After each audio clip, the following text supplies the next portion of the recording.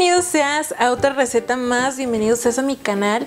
El día de hoy vamos a preparar un postrecito cremoso con mermelada. Este postrecito es ideal para ventas, para mesitas de postres. Está muy bonito, además de estar delicioso. Antes de empezar con esta receta te quiero invitar a que te suscribas y le des me gusta a este video para que así llegue a más personitas. Vamos a preparar estos postrecitos que se ven bien lindos. Si quieres saber cómo se preparan, sigue viendo el video. Necesitaremos 200 gramos de fresas lavadas y desinfectadas media de azúcar, media taza de agua y una cucharada de fécula de maíz que también se conoce como maicena sin sabor. Estos ingredientes serán para preparar la mermelada y para la mezcla necesitaremos una taza de leche entera, una lata de leche condensada, dos cucharadas soperas de grenetina que también se conoce como gelatina sin sabor y si vas a comprar los sobrecitos vamos a necesitar dos sobrecitos. Y por último utilizaremos también una taza de crema para batir o nata para montar. También vamos a necesitar vasitos Pueden ser los vasitos que tú quieras. Yo estoy utilizando vasos pequeñitos. Hay de varias medidas.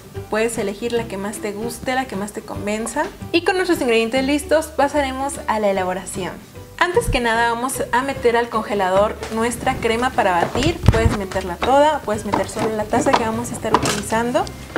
Listo. Lo primero que vamos a hacer es preparar nuestra mermelada, así que vamos a quitarle a las fresitas las hojitas y las iremos pasando a una olla.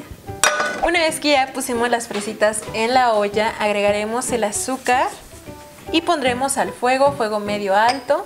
Así que vamos a pasar a la estufa. Vamos a verter la fécula de maíz en el agua. Esto ayudará a espesar nuestra mermelada y vamos a disolver. Vamos a pasar el agua con la fécula de maíz a la olla en donde están las fresas.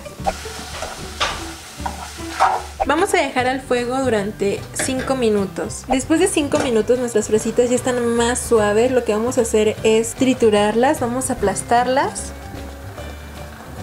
a esta mezcla le puedes poner un poco de canela, una rajita de canela basta, si quieres que tenga un poco más de sabor, pero así queda bastante bien. Y vamos a esperar a que se reduzca durante unos 3 minutos más. Vamos a esperar a que se evapore un poco más el agüita. Una vez que nuestra mermelada tenga esta consistencia, estará lista. Apagamos el fuego y la dejamos enfriar.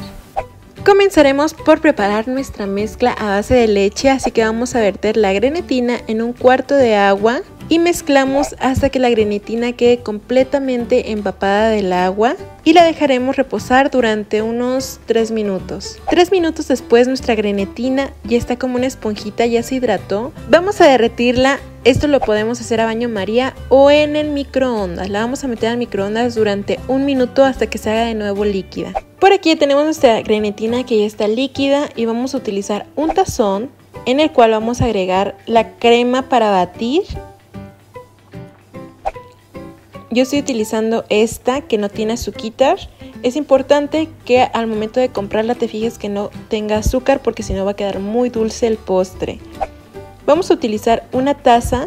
La crema para batir debe estar súper fría para que así no le cueste trabajo esponjar. Y con nuestra batidora vamos a batirla hasta que quede esponjosita, hasta que tenga esta consistencia. Vamos a utilizar la licuadora. En la licuadora vamos a poner la leche, la leche condensada. Vamos a agregar nuestra mezcla a la crema para batir que tenemos. Y con un globo vamos a mezclar hasta que nos quede una mezcla homogénea, hasta que todo se haya incorporado por completo. Lo que vamos a hacer ahora es verter un poco de la mermelada en cada vasito de nuestra deliciosa mermelada. Que ya no está tan caliente, ya enfrió. Vamos a embarrar un poco la mermelada en las paredes del vasito y vertemos nuestra mezcla antes de que cuaje. Bueno, al final me sobró un poco de la mermelada, así que voy a verter un poquito para que sea como, como decoración.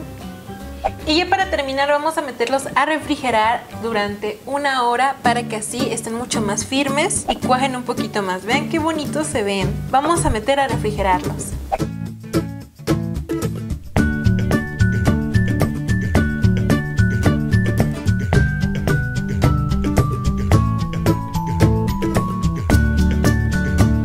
¡Qué rico! Y es que está bien cremosito. La mermelada natural que preparamos. Mmm. Mm, está delicioso. Cuánta cremosidad. La, mermelada. Uf. Wow, mm. está delicioso. Está muy suavecito, con un sabor bastante, bastante rico.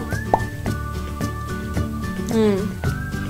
Qué postre tan más sabroso. Me encanta la mermelada, la mermelada quedó exquisita. La mermelada está deliciosa. Mmm. Y bueno, hemos llegado al final de esta receta, espero te sirva, espero también la puedas preparar para que así puedas este postrecito tan rico. Aquí abajito en la cajita de información te dejo mis redes sociales para que vayas a seguirme. Eso es todo por hoy, yo me despido, te mando un fuerte beso y un gran abrazo donde quiera que estés y nos vemos en la siguiente receta.